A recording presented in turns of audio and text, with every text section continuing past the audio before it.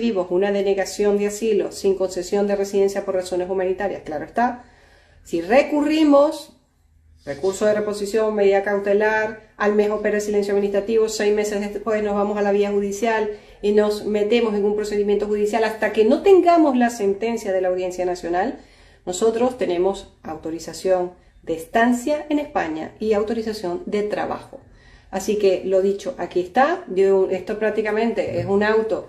de la sala sección 5 de la Audiencia Nacional que nos notificaron el 26 de septiembre, con lo cual, señores, esto está recién sacado del horno, es jurisprudencia y está latente a la fecha de hoy. Entonces, esto lo digo porque a veces me consigo con clientes de, doctora, por favor, llame a la empresa, explíquele, porque no saben, me quieren dar de baja, entonces tengo que llamar, tengo que explicar, mira, aquí está la normativa, aquí está lo que dice España, aquí lo que está no sé qué, aquí está un auto de la Audiencia Nacional, para que las empresas no les den de baja, porque esto es prácticamente, algo tan especial, tan único, que no es normal verlo. Entonces, claro, las empresas no tienen por qué saberlo.